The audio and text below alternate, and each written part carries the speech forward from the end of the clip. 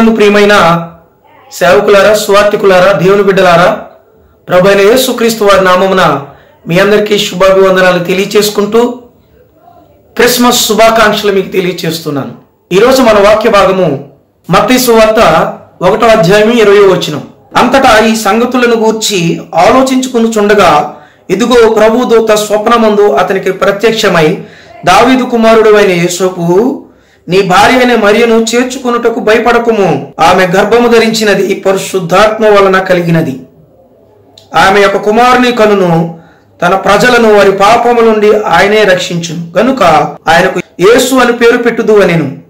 ఇక్కడ చదివిన వాక్య భాగాన్ని గమనిస్తే యేసోపు ఆలోచిస్తున్నాడు. ఏం ఆలోచిస్తున్నాడు? మరియకు యేసోపుకు ప్రధానం చేయబడింది. ప్రధానం చేయబడిన తర్వాత మరియ వచ్చి యేసోపు దగ్గరకు వచ్చి అయ్యా నేను గర్భము దాల్చానని చెప్తుంది. చెప్పినప్పుడు ఈ యేసోపుకి అనుమానం వచ్చింది. ప్రధానం చేయబడ్డాం కదా ఇంకా మేము శరీరపరంగా కూడుకోలేదు కదా ఎలా ఈవిడి గర్భవతి అయిందని ఆలోచిస్తున్నాడు. అంతేకాదండి మరియా యేసోపు వారు ఒకే గ్రామానికి చెందినవారు ఒకే ఊరికి చెందినవారు వారి రక్త సంబంధులు. మరియ బాల్యం నుండి యవ్వన దశ వరకు యేసోపుకి మొత్తం తెలుసు. అయితే ఆవిడ మాటలో కానీ ఆవిడ చూపులో కానీ ఆవిడ నడతలో కానీ ఆవిడ చేతలో కానీ ఆవిడ ఆలోచనలు కానీ ఆవిడ తలంపుల్లో కానీ ఎటువంటి దోషము లేదు ఎటువంటి పాపము లేదు. అయినా సరే ఈవిడ ఎలా గర్భవతి అయింది అని ఆలోచిస్తున్నాడు. అయితే ఆలోచించిన తర్వాత ఎవరైనా లోకరీతిగా ఉన్న మనుషులు ఏం చేస్తారు? తన చేసుకోబోయే భార్య గర్భవతి అని తెలిసినప్పుడు అతను ఏం చేస్తాడంటే తన పెద్దవారికి చెప్తాడు తన గ్రామస్తులకి చెప్తాడు తన రక్త సంబంధులకు చెప్పి గోల అలరి చేస్తాడు. కానీ ఏసోబు ఎటువంటి వాడంటే మత్తయి స్వార్థ ఒకటో అధ్యాయం పంతొమ్మిది వచ్చినని మనం గమనిస్తే ఏసోబు ఎటువంటి వాడో మనకు తెలుస్తుంది. ఆమె భర్త అయిన ఏసోబు నీతిమంతుడై ఉండి ఆమెను అవమానపరచున్నలక రహస్యంగా ఆమెను విడనాడం ఉద్దేశించాను. ఇక్కడ చదివిన వాక్య భాగాన్ని గమనిస్తే యేసోబు కూడా నీతిమంతుడు పరిశుద్ధుడు యథార్థవంతుడు. అటువంటి యేసోబు ఒకవేళ పాపాన్ని చూస్తే అసహించుకుంటాడు పాపాన్ని కడిగి వేస్తాడు అవసరమైతే పాపం కొరకు మరణిస్తాడు. కానీ పాపం చేసిన వ్యక్తిని అల్లరి పాలు చేయడు అవమాన పాలు చేయడు ఆమెను శ్రమలకు గురి చేయడు. కానీ ఇతడు యేసోబు నీతిమంతుడు కనుక ఆమెను రహస్యంగా విడనాడాలని ఆలోచించాడు. ఎందుకంటే మరియా పరిశుద్ధురాలు నీతిమంతురాలు యథార్థవంతురాలు. అది తన తల్లిదండ్రులకు తెలుసు తన రక్త సంబంధులకు తెలుసు తన స్నేహితులకు తెలుసు తన పక్కవారికి తెలుసు తన ఊరి వారికి తెలుసు తన ఊరి పెద్దలందరికీ తెలుసు.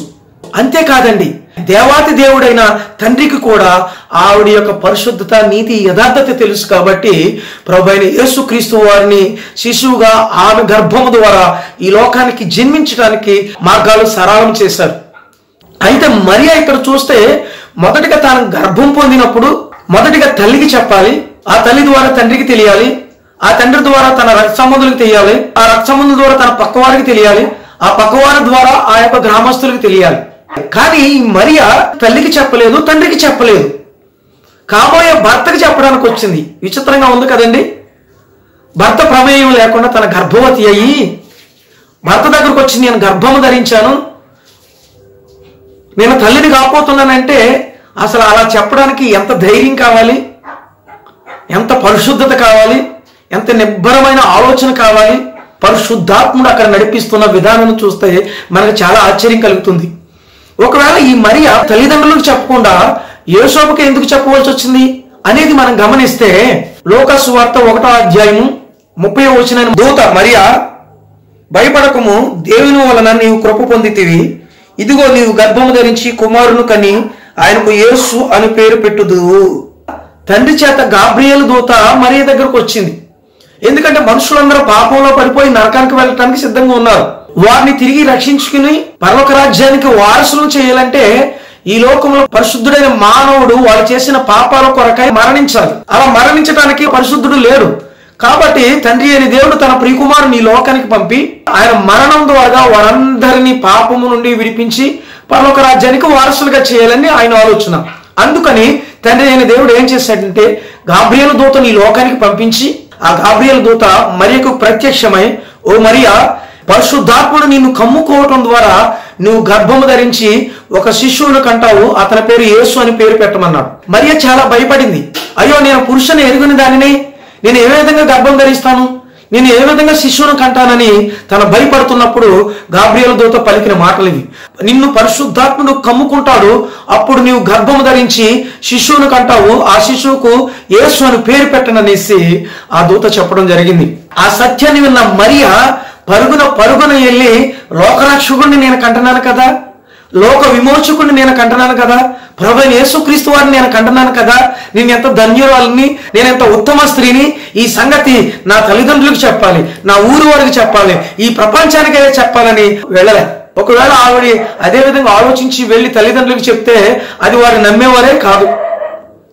వారి ఊరు వారు కానీ వారి గ్రామస్తులు కానీ వారి తల్లిదండ్రులు కానీ వారి తోబుట్టులు కానీ వారి రక్షమందులు కానీ ఎవరు నమ్మరు కదా ధర్మశాస్త్రం ప్రకారం ఆమెను కట్టేసి రాళ్ళతో కొట్టి చంపేవారు. అలా జరుగుతుందనే పరిశుద్ధాత్ముడు ఏం చేస్తాడంటే ఈ విషయాన్ని తల్లిదండ్రులకు చెప్పకుండా తన గ్రామస్తులకు చెప్పకుండా మరియలో ఉన్న పరిశుద్ధాత్ముడు మరి తిన్నగా ఆ యొక్క యేషోబు దగ్గరికి నడిపించుకు వెళ్ళాడు. ఎందుకంటే యేషోబు నీతిమంతుడు కదా యేషోబు యథార్థవంతుడు కదా యేషోబు న్యాయవంతుడు కదా అతను ఏంటంటే సత్యమేదో అసత్యమేదో గ్రహిస్తాడు. చీకటేదో వెలుగేదో గ్రహిస్తాడు. న్యాయమేదో అన్యాయమేదో గ్రహిస్తాడు. దేవుడేదో దెయ్యమేదో గ్రహిస్తాడు. కాబట్టి ఆ యొక్క పరిశుద్ధాత్ముడు మరిలో ఉండి యోషోపు దగ్గరికి తీసుకెళ్ళి యోషోపుకి జరిగిన విషయం అంతా క్లుప్తంగా వివరించింది. అది తెలిసిన యేసోబు కూడా కొంత సంకోచించాడు. కొంత అనుమానం వచ్చింది. అయినా సరే అతనుకున్న నీతిని బట్టి అతనుకున్న యథార్థతను బట్టి ఈ యొక్క మరియ గురించి నేను ప్రజల్లోకి చెప్తే గ్రామస్తులకు చెప్తే ఈమెను రాళ్ళు కొట్టి చంపేస్తారు కనుక నేను ఈ విషయాన్ని నా మనసులోనే దాచుకుని రహస్యంగా ఆమెను విడనాడాలనుకున్నాడు. తన దర్శనంలోకి వచ్చి తన కళలోకి వచ్చి యేసోబుకి ఈ విధంగా వివరిస్తున్నాడు. యోషోబు నువ్వేం భయపడిన అవసరంలే ఎందుకంటే మరియ పరిశుద్ధాత్మ ద్వారా గర్భము ధరించింది. ఆమె శిశువును కంటది. ఆ శిశువుకు యేసు అని పేరు పెట్టండి అని ఆ యొక్క యేసోబుకి దర్శనం ద్వారా ఆ యొక్క గాబ్రియల దూత చెప్పినప్పుడు అప్పుడు జ్ఞాపకం వచ్చింది నీతిమంతుడైన యేసోపుకి గతం.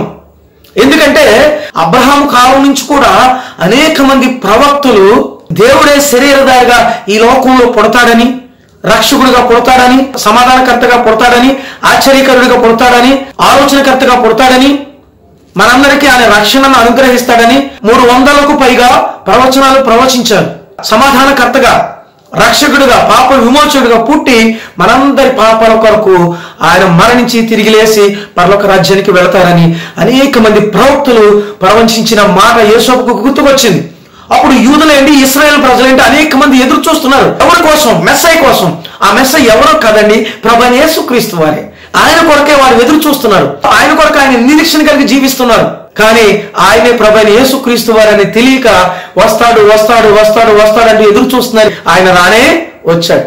గతంలో వారి ప్రవక్తలందరూ ప్రవచించిన ప్రవచనాలను నెమరు వేసుకుని దూత చెప్పిన మాటలను మనసులో ఉంచుకుని నిబ్బరము కలిగి ధైర్యము కలిగి ఇంటికి వెళ్ళి ఆ యొక్క మరియను తన ఇంటికి చేర్చుకున్నాడు.